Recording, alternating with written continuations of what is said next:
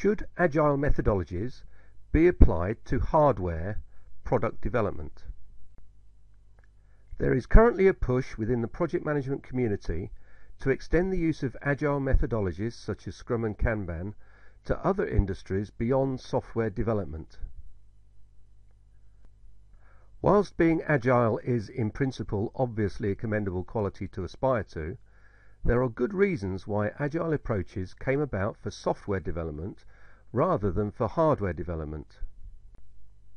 The cost implications of reacting to changing specifications are generally much lower when dealing with software than with hardware, due to the tooling and prototyping costs associated with the latter. Also, the rectification costs of products released to the market that subsequently give quality issues are generally much lower for software than for hardware items.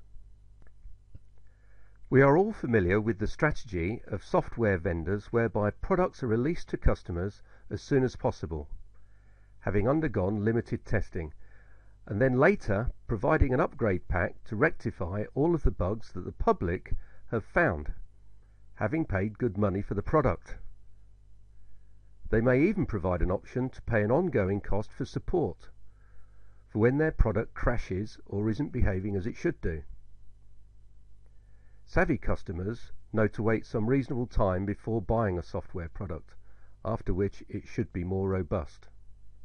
It isn't so easy to roll out updated components, say, to customers to resolve issues that they have found after purchasing the product.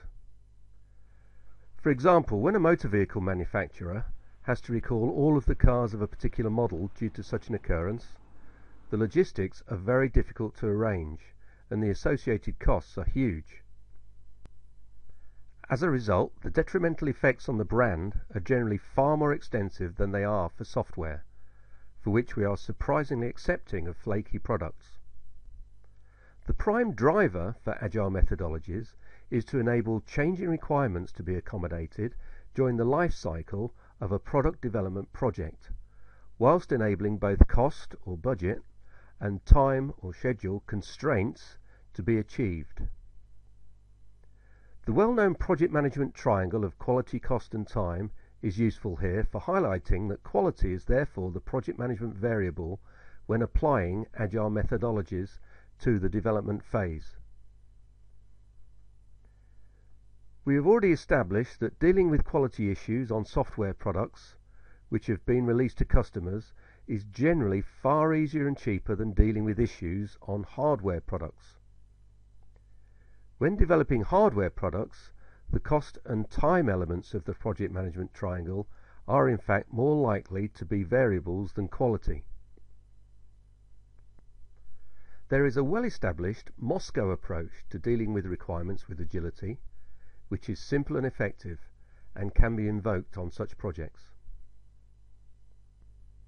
We can only logically conclude, therefore, that agile methodologies should only be applied to software development projects, unless the rectification costs of a hardware product will be acceptably low, which, until we create an internet that handles easy transfer of hardware as well as software, this will be very rare.